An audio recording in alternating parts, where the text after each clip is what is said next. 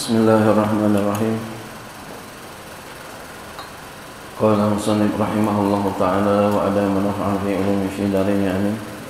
Wa kana Abu Abdurrahman Az-Zahid adalah Abu Abdurrahman Az-Zahid seorang yang zuhud yaqulu beliau berkata fi munajatihi pada munajatnya ya waihi wahai kemalanganku. Amal nasa bil amanati. Aku bermuamalah kepada manusia dengan amanah. Wa amaltu rabbi bil khiyanati dan aku bermuamalah kepada Tuhanku dengan khianat. Jadi beliau sadar sendiri telah melakukan seperti ini. Falaitani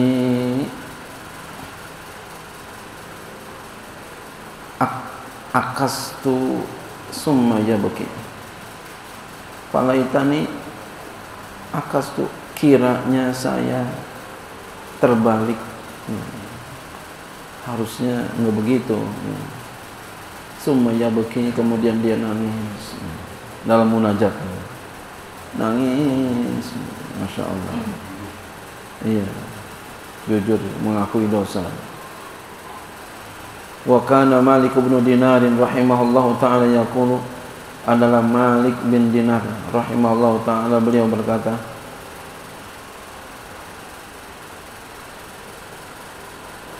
Man amara nasa bi syai'in lam yablughu haluhu wa huwa munafikun.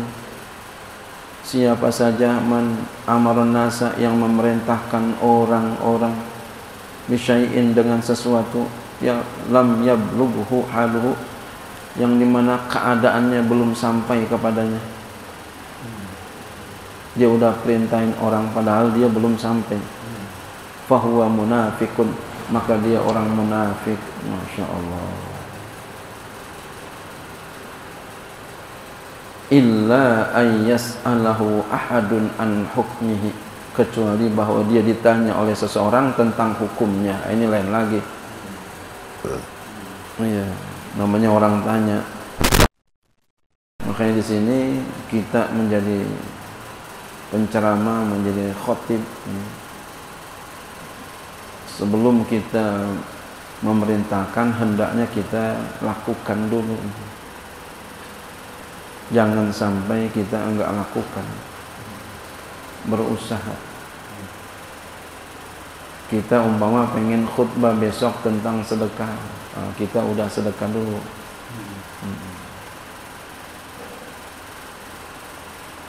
Kita besok pengen khutbah tentang salawat Nabi. Kita salawat dulu biar banyak. Kita pengen khutbah tentang qiyamul lail. Kita rajinin dulu qiyamul lail.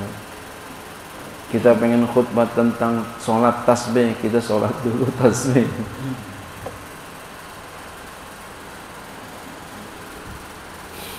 usahakan begitu. Makanya orang dulu kalau nyari khotib itu bukan yang pandai bicara yang pandai ngamalin ilmu. Kalau orang sekarang bukan yang pandai ngomong.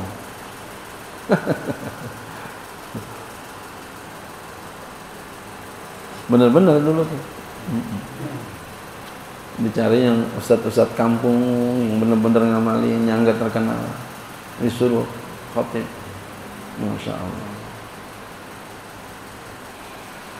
Wa kana yakulu dan adalah beliau pernah berkata iyyaka an takuna fin nahari abba abdillahi salih. Hati-hatilah bahwa engkau di siang hari menjadi bapak hamba Allah yang soleh wa filaini syaitana toli'in. Dan pada malam hari setan yang toleh na'udzubillah. Kalau siang kelihatannya soleh kalau malam iya toleh jorok. Iya toleh enggak soleh lawanan enggak soleh lawanan soleh toleh. Na'udzubillah.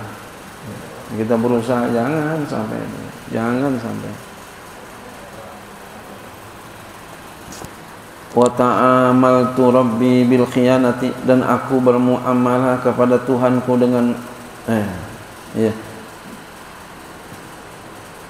wa taqaddama an Ibrahim at-Taimi dan sungguh telah dan telah terdahulu dari Ibrahim at-Taimi annahu yaqulu bahwasanya beliau berkata ma aradtu ilmi ala amali ya.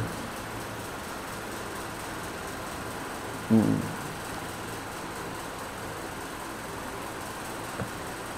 Iya.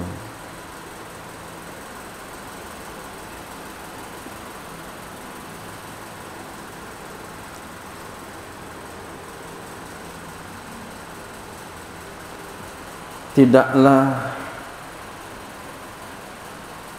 bertentangan ilmuku atas amalku illa kecuali wajatu nafsi aku dapati diriku ghairu amilin.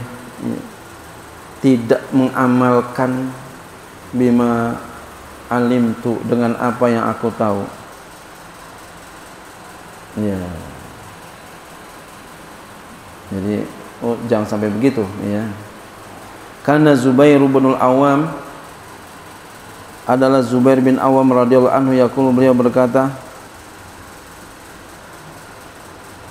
ij'alu lakum khabisatan jadikan olehmu bagi kamu khabisatan ya. Yang disembunyikan. Minal amali daripada amal soleh yang soleh. Kama anna lakum khabisatan sebagaimana bahwa bagi kamu ada yang hobi hobiatan ya bukan hobisatan ya. Hobiatan yang disembunyikan. Sebagaimana bahwa ada bagi kami kamu khobiatan yang disembunyikan minal amali sayyi daripada amal yang buruk. Jadi jadikan olehmu bagi kamu yang disembunyikan daripada amal yang soleh sebagaimana bahwa ada bagi kamu ya mempunyai yang disembunyikan daripada amal yang buruk.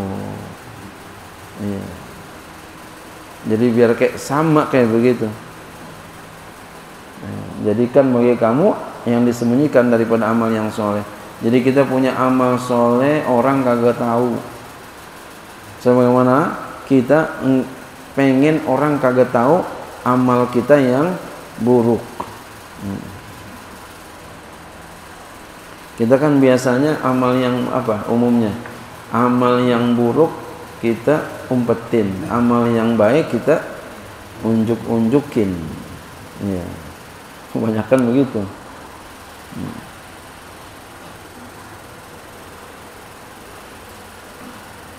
Wa taqaddama qawlu Muawiyah bin Qurrata dan telah terdahulu perkataan Muawiyah bin Qurrah man yadulluni siapa saja yang menunjuki aku ala rajulin atas seorang laki-laki ya bukimbil laili yang nangis jadi waktu malam.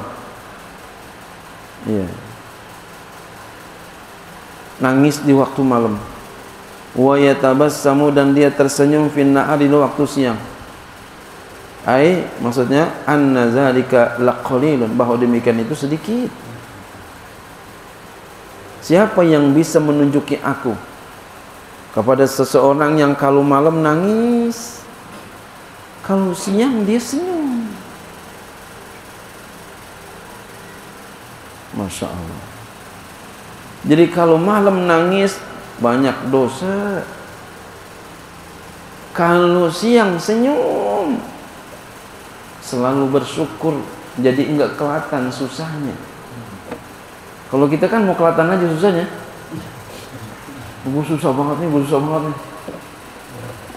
Oh ini. Ya denger duluan. Minta disumbang. Minta disumbang. Ya Allah.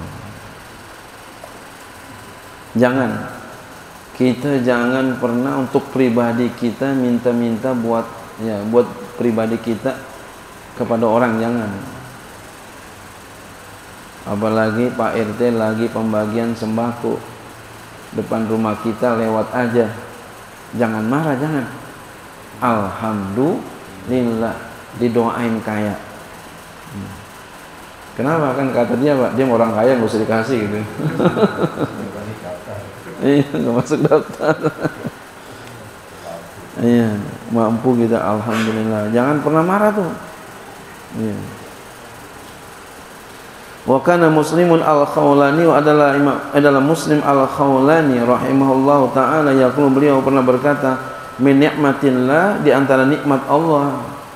Ala anani atas bahwasanya aku munzu salasina sanatan sejak 30 tahun ma fa'altu aku belum pernah melakukan syai'an sesuatu yustahya minhu yang bikin malu. Yustahya yang dimalukan yang bikin malu illa kurbi ya, min ahli kecuali dekat daripada istriku. Ya sama istri kan yang lain dah ya orang tahu malu dah tapi sama istri ya enggak. Ya. enggak apa-apa kalau sama istri mah ya sama istri mah ya. Yang paling pojok-pojokan kelihatan enggak apa-apa. Ya. yang dalam enggak apa-apa Nah, kita pun begitu, usahakan jangan pernah kita melakukan hal yang bikin malu, jangan. Wakana Abu Abdullah As-Samarqandi adalah Abu Abdullah As-Samarqandi rahimahullah taala yaqulu beliau berkata iza mada'an nasu apabila manusia memuji dia yaqulu dia berkata wallahi demi Allah ma misli wa mislukum. Tidaklah seperti aku dan seperti kamu illa kamisli jariyatin. Kecuali seperti ya jariyatin seorang gadis. Ya demi Allah tidak ada orang sepertiku dan seperti kamu kecuali seperti seorang gadis yang hilang. Za'abat bikaratuhu. Bakaratu bakaratuha. Yang hilang kegadisannya. Bil fujuri ya. Dengan berbuat fajir zina ya. Wa ahluha dan ahlinya keluarganya la ya'lamuna bidzalika sedangkan ahlinya tidak mengetahui demikian itu. Fahum maka mereka yafrahuna bergembira biha dengannya. Laila lailataz zafafi pada malam pengantin. Wa iya padahal dia khazinat khazinatun. Padahal dia bersedih. Khaufal fadiati karena takut terbongkar aibnya. Perhatiin. Wal, saya ulangin. Wallahi demi Allah ma misli wa mislikum tidak ada orang yang seperti aku dan seperti kamu. Ya, kecuali kami jariyatin. Seperti seorang gadis. Saya kamu nih kayak, kayak seorang gadis zahabat bakaratuhu bakaratuhu yang hilang keperawanannya bil fujuri dengan zina. Sedangkan keluarganya nggak tahu tentang itu. Keluarganya gembira dengan perempuan itu pada malam pengantin. Padahal si perempuan itu bersedih. Kenapa? Takut kebongkar aibnya jadi kita tuh begitu tuh. Masya Allah. Paham tuh? Jadi kita nih kayak kayak tadi begitu. Kayak pengantin yang udah udah enggak perawan lagi. Astagfirullahaladzim. Ini sampai aja nih perumpamaan kayak begini nih. Masya Allah. Allah Allah kita nggak sampai nih. Iya. Mahamin aja susah mahaminnya. Apa maksudnya nih? Jadi artinya kita ini banyak boroknya, kita ini banyak boroknya, banyak joroknya kita.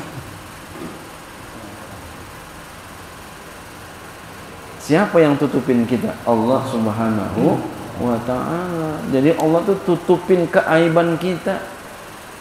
Andai kata Allah buka, orang nggak mau hormat sama kita. Maka oleh karena itu kita berusaha semaksimal mungkin ya untuk bersikap soleh. Fil alaniya au fis sirriyah.